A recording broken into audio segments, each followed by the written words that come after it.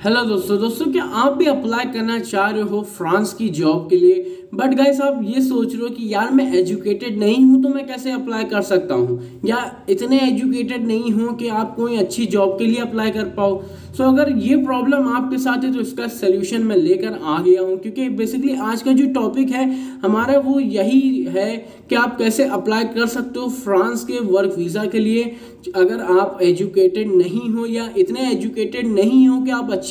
Job के लिए apply कर पाओ। सो बेसिकली टॉपिक हमारा यही है। इसी पे हम बात करने वाले हैं। आपको काफ़ी सारी इंफॉर्मेशन देने वाले हैं। But guys one more important thing कि अगर आप हमारे चैनल पे नए हो तो चैनल को सब्सक्राइब कर देना। क्योंकि गाइस आपका सपोर्ट ही हमारे लिए बहुत ही इंपॉर्टेंट है। अगर आप सपोर्ट करोगे देन ओनली हम आपके लिए वर्क कर पाएँगे। ओके okay, सो so आप चाहते हो कि हम आपके लिए वर्क करते रहें तो गाइस प्लीज़ लाइक करो सब्सक्राइब करो शेयर करो ओके एंड कमेंट करके ज़रूर बताया करो अपने रिव्यूज़ गाइस प्लीज़ बताया करो, क्योंकि गाइस आपके रिव्यूज़ हमारे लिए बहुत ही मैटर करते हैं कि हमारे बंदे सेटिस्फाइड हैं या नहीं हैं हमसे ओके सो आपके कमेंट बहुत मैटर करते हैं. नेक्स्ट टॉपिक क्या हुआ करे, वो भी ज़रूर बताया करो ओके सो गाइस स्टार्ट करते हैं.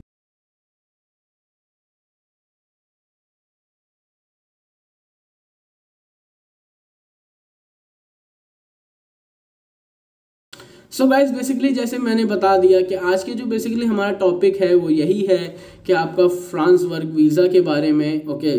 के first of all work visa इसलिए कह रहा हूँ कि आपको टाइटल में यही दिखा होगा कि वर्क वीज़ा फ्रांस का ओके क्योंकि वर्क वीज़ा अगर अप्लाई करने का कोई भी ऐसा बहुत ही बड़ा वो वो नहीं है स्ट्रेटजी कि आप अप्लाई करना पड़ेगा, कुछ ये करना है, वो करना है, कुछ नहीं करना। सिर्फ़ आपको एक ऐसी जॉब चाहिए है जो कि बहुत ही इंपॉर्टेंट रहती है। बस आपको एक जॉब चाहिए एंड देन कंपनी जो आपको जहाँ पर आपने अप्लाई किया है जिस कंपनी में, वही आपके सारे डॉक्यूमेंट्स को खुद क्लियरिफाई करवा के आपके हाथ में रख देगी। तो कोई भी ऐसा बड़ा बात नहीं है आपका वर्क परमिट या वर्क वीज़ा कह लो अप्लाई करने के लिए। सो सबसे मेन पॉइंट आता है आपका जॉब सो अगर आप अनएजुकेटेड हो या इतने एजुकेटेड नहीं हो कि आप कोई अच्छी अपॉर्चुनिटी अवेल कर पाओ, कोई जॉब अप्लाई कर पाओ। सो ये बेसिकली आपके लिए वीडियो है okay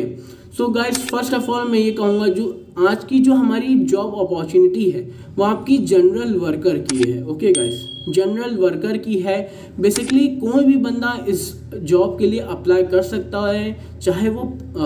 अनएजुकेटेड हो ओके अनएजुकेटेड भी गाइस देखो अनएजुकेटेड भी मैं बता दूँ कि कि अनएजुकेटेड भी क्या मतलब मैं यहाँ पर मीन रख रहा हूँ? कि आप फिफ्थ क्लास पास हो सिक्स क्लास पास हो एट क्लास पास हो नाइन्थ क्लास पास हो तो मतलब थोड़ा बहुत तो मतलब आना ही चाहिए ओके ये भी मन मैं नहीं कर कह रहा हूँ कि एकदम ही अनएजुकेटेड हो। आ, देखो बेसिकली यूँ कहा जाए तो हमारे इंडिया में भी आज का एजुकेशन जो है लेवल वो इतना है कि हर कोई बंदा पाँच fifth class six class six class eight class तो ऐसे तो पढ़ ही लेता है। So, उसी के बेसिस पे कह रहा हूँ अनएजुकेटेड जो कि अच्छे लेवल में अनएजुकेटेड उनको कहा जाता है गर्ल्स जो कि एक अच्छे एजुकेशन uh, ले चुके हों ओके बट अनएजुकेटेड वही कि जिनका फिफ्थ क्लास सिक्स क्लास ऐसे बंदे जो हैं जो कि uh, आगे नहीं पढ़ पाए किसी कंडीशन की वजह से तो ये अनएजुकेटेड उनको मैं कह रहा हूँ उनका मीन है कि वो अप्लाई कर सकते हैं इस जॉब के लिए। सो जनरल वर्कर की जॉब है सैलरी पैकेज आपका वन थाउज़ेंड यूरो है पर मंथ ओके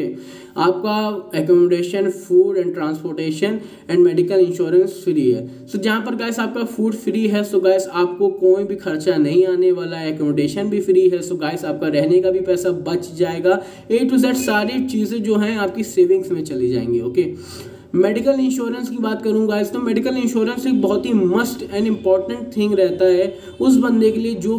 कि बंदा कहीं बाहर जाके वर्क करने जा रहा है ओके क्यों गाइस क्योंकि ऐसी काफ़ी सारे हमारे पास सिचुएशंस हो जाती हैं कि जहाँ पर हमारी तबीयत ख़राब हो जाए या कोई हमारा एक्सीडेंट हो जाए इनकेस मेरा इनकेस अगर मैं ही गया तो मेरा हो गया, मैं आप लोग पे नहीं कह रहा, मैं खुद पे रख के बोल रहा हूँ। कि अगर मेरा ही हो गया सो गाइस तो मैं वहाँ पर कम से कम अपना ट्रीटमेंट तो करवा पाऊँ अगर कंपनी ने मुझे मेडिकल इंश्योरेंस दिया तो ये बहुत ही इंपॉर्टेंट चीज़ है गाइस कि मेडिकल इंश्योरेंस ओके सो यहाँ पर आज हमने क्या क्लियर किया अभी तक के क्या आपकी क्या वैकेंसी है, कौन सी पोस्ट है, कौन सी अपॉर्चुनिटी है, आपकी जनरल वर्कर हो गई सैलरी बता दी one thousand euro per month रहेगी ओके सो ये क्लियर हो गया। आपको ये बता दिया कि अनएजुकेटेड एंड एजुकेटेड दोनों अप्लाई कर सकते हैं अनएजुकेटेड का यहाँ पर मैं क्या मीन रख रहा हूँ आपका? सो so, ये भी बता दिया। अब बताते हैं गाइस थोड़ा सा और डीपली जाते हैं कि यूँ अगर देखा जाए तो आपको थोड़ी बहुत यूँ बोलूँ तो लिखना आना चाहिए ओके थोड़ा बहुत लिखना है चाहे आप कोई भी मतलब क्योंकि ऐसा होता है आप जनरल वर्कर होगा ऐसा ओके आपको कुछ चीज़ दी जाएगी ओके करने के लिए। सो आपको वहाँ पर मैथ्स की भी थोड़ी सी ज़रूरत होगी ओके आपको जोड़ने जोड़ना, घटाना सो ये सब आना चाहिए, आपका जो कि मैथ्स कहलाया जाता है ओके अगर कोई अगर ऐसे बंदे हों जो कि मैथ्स को नहीं जानते हों जो कि बहुत ही अनएजुकेटेड हो जाते हैं, बेचारे बंदे ऐसे होते हैं जिनकी कंडीशन ऐसी होती है कि वो नहीं पढ़ पाते तो आपको जोड़ना, पैसों को जोड़ना, घटाना तो ये आना चाहिए ओके इतना आना चाहिए, ये इम्पोर्टेंट है ओके और अगर आप अच्छे एजुकेटेड हो तो कोई भी बात नहीं अगर हायर एजुकेशन है आपके पास अगर तब अप्लाई कर रहे हो तब कोई भी दिक्कत की बात ही नहीं है। आप तो यूँ ही आँख बंद करके अप्लाई कर सकते हो। ओके सो ये कुछ इन्फॉर्मेशन थी। अब आपका ये वर्क परमिट कितने आ, साल का रहेगा ओके ये बता दूँ। आपका टू इयर्स का रहेगा ओके सॉरी टू इयर्स का नहीं थ्री इयर्स का रहेगा ओके थ्री इयर्स का रहेगा, जो कि आपका रिन्यूएबल रहेगा।